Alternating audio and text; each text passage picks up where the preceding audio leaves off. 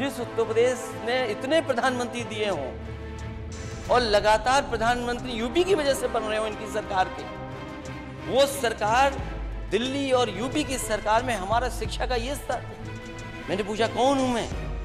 तो बोले, आप राहुल गांधी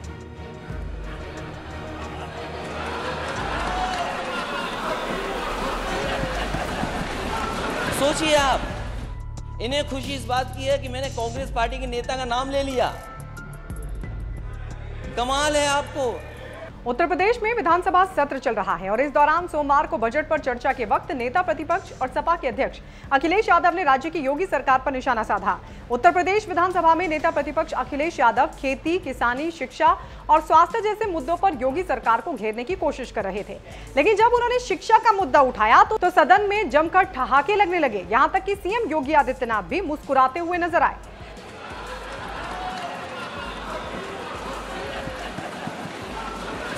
तो चलिए बताते हैं आपको ऐसा क्या हुआ जो सदन में सत्ता पक्ष तो सत्ता पक्ष, पूरा विपक्ष हंसने लगा। असल में अखिलेश यादव ने सोमवार को विधानसभा में बजट पर चर्चा के दौरान कुछ मुद्दे उठाए थे। इन्हीं में से एक था शिक्षा का मुद्दा। शिक्षा का मुद्दा उठाते उठाते वो एक किस्सा बताने लगे, जिसमें उन्होंने राहुल गांधी का ज़िक्र किया। बस फिर क्या था? पूरा सदन हंसने लगा। असल में अखिलेश यादव एक स्कूल का किस्सा सुना रहे थे, जिसमें उन्होंने बताया कि जब वो एक स्कूल में गए तो वहाँ पर एक बच्चे ने उन्हें राहुल गांधी बता डाला। अखिलेश ने जब ये वाक्य बताया तो सदन में खूब ठहाके लगने लगे। तो चलिए पूरा किस्सा आपको बताते हैं।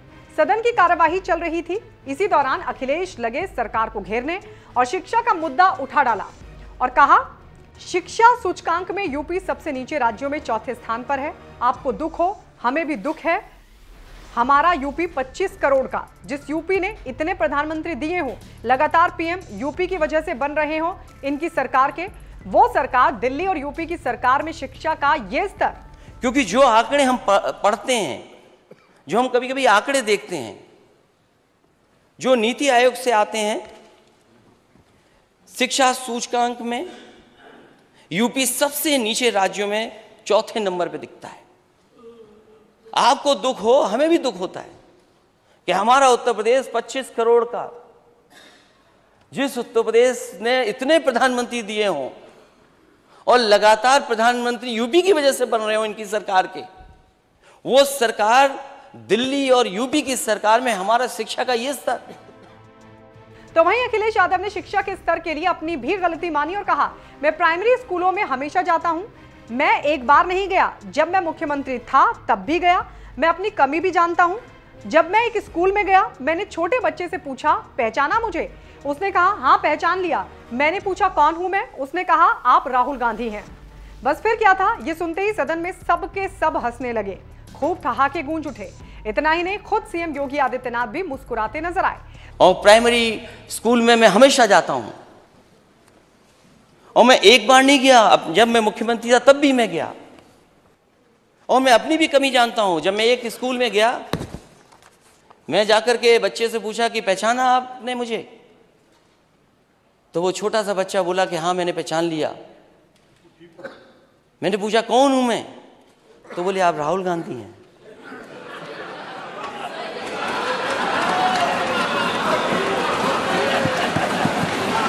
सोचिए आप सोचिए आप। तो वहीं अपनी बात पर हंसे जाने पर सपा अध्यक्ष अखिलेश यादव ने कहा इन्हें दुख इस बात का नहीं है कि यूपी नीचे से चौथे स्थान पर है। इन्हें खुशी इस बात की है कि मैंने कांग्रेस पार्टी के नेता का नाम ले लिया। उनका इशारा राहुल गांधी पर ही था। नहीं नहीं मैं अध्यक्ष जी अध्यक्ष जी अच्छा सोच रहे हैं पूरी बात इनकी बात सोच समझ बिल्कुल ठीक है। बात सुन लीजिए। ये इनकी सोच समझ बिल्कुल ठीक है। मैं जानता हूँ किस बात पे ये कह रहे हैं। इन्हें चिंता इस बात की नहीं है अध्यक्ष महोदय। इन्हें दुख इस बात का नहीं है कि यूपी नीचे से चौथा नंबर है। इन्हें खुशी इस बात की है कि मैंने कांग्रेस पार्टी के नेता का नाम ले लिया। दुख इस बात का नहीं है इन्हें कि स्वास्थ्य के आंकड़ों में हम कहाँ खड़े हैं। सब लाइव जा रहा है। आज स्कूलों में बच्चों की भारी कमी है जो आप कहते हो कि दो करोड़ बच्चों को पढ़ाएँगे। आप उनको पढ़ा रहे हैं जो सबसे गरीब हैं। जब संपन्न है वो पढ़ने कहाँ चले गए? कहाँ से मुकाबला करेंगे? कमाल है आपको। आपको सरकार किसने बना दी? सोचिए आप। इनको दुख इस बात का नहीं है। इनको शांति से अध्यक्ष महोदय दुख इस बात का नहीं है ने क्या स्वास्थ्य के आंकड़ों में हम कहाँ खड़े हैं? और मैं तो आपको धन्यवाद दूँगा ये सब लाइव है। सब लाइव जा रहा है। और प्राइमरी एजुकेशन में एक हमारे माननीय सदस्य ने कहा था कि टीचर्स कहाँ कहाँ से आ रहे हैं कहाँ कहाँ से पढ़ा रहे हैं। आप जाँच करिए इस बात की। जो हम लोग कह रहे हैं वो सच्चाई है कि नहीं है? आज स्कूलों में बच्चे नहीं, बच्चे तो हैं और बच्चों की भारी कमी है। जो आप कहते हो हम दो करोड़ का लक्ष्य है बच्चों को पढ़ाएँगे प्राइमरी एजुकेशन में। आप किन बच्चों को पढ़ा रहे हैं? जो गरीब से गरीब बच्चे हैं, जो हमारे समाज के सबसे गरीब है, पिछड़े और बहुजन समाज के बच्चे हैं, वो पढ़ाई कर रहे हैं। आप सोचिए कि जो संपन्न लोग हैं वो कहाँ पढ़ने चले गए? क्या मुकाबला होगा फिर? क्या मुकाबला करेगा बच्चा? आपको बता दें यूपी का बजट सत्र चल रहा है जिसमें विपक्ष सवाल तो सरकार जवाब दे रही है लेकिन जिस तरह अखिलेश ने यह किस्सा सुनाया और सदन में सभी लोग हंसने लगे जिसकी वजह से कुछ देर के लिए सदन का माहौल थोड़ा हल्का फुल्का नज़र आया। क्योंकि जो आंकड़े हम पढ़ते हैं जो हम कभी कभी आंकड़े देखते हैं जो नीति आयोग से आते हैं, शिक्षा सूचकांक में, यूपी सबसे नीचे राज्यों में चौथे नंबर पे दिखता है। आपको दुख हो, हमें भी दुख होता है कि हमारा उत्तर प्रदेश 25 करोड़ का।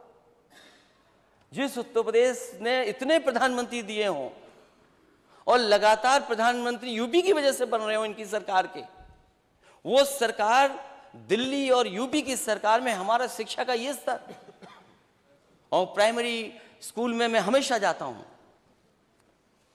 और मैं एक बार नहीं गया जब मैं मुख्यमंत्री था तब भी मैं गया। और मैं अपनी भी कमी जानता हूँ, जब मैं एक स्कूल में गया, मैं जाकर के बच्चे से पूछा कि पहचाना आपने मुझे? तो वो छोटा सा बच्चा बोला कि हाँ मैंने पहचान लिया। मैंने पूछा, कौन हूँ मैं? तो बोले, आप राहुल गांधी हैं।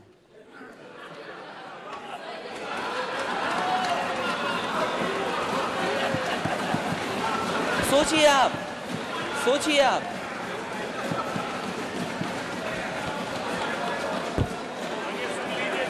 नहीं नहीं मैं अध्यक्ष जी अध्यक्ष जी अच्छा सोच रहे हैं नहीं, पूरी बात पूरी इनकी बात सोच समझ बिल्कुल ठीक है। पूरी बात सुन लीजिए। ये इनकी सोच समझ बिल्कुल ठीक है। मैं जानता हूँ किस बात पे ये कह रहे हैं। इन्हें चिंता इस बात की नहीं है अध्यक्ष महोदय इन्हें दुख इस बात का नहीं है कि यूपी नीचे से चौथा नंबर है। इन्हें खुशी इस बात की है कि मैंने कांग्रेस पार्टी के नेता का नाम ले लिया। कमाल है आपको। आपको सरकार किसने बना दी? सोचिए आप।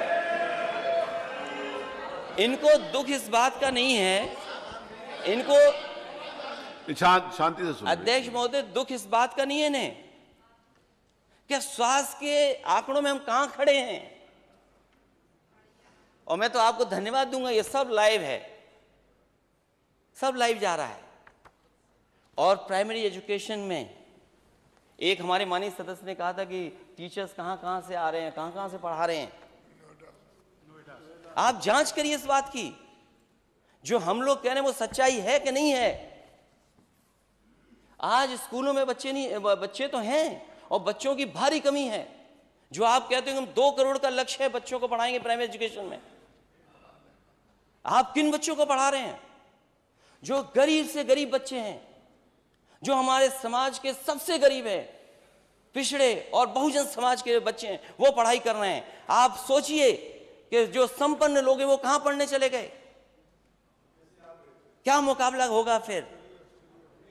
क्या मुकाबला करेगा बच्चा?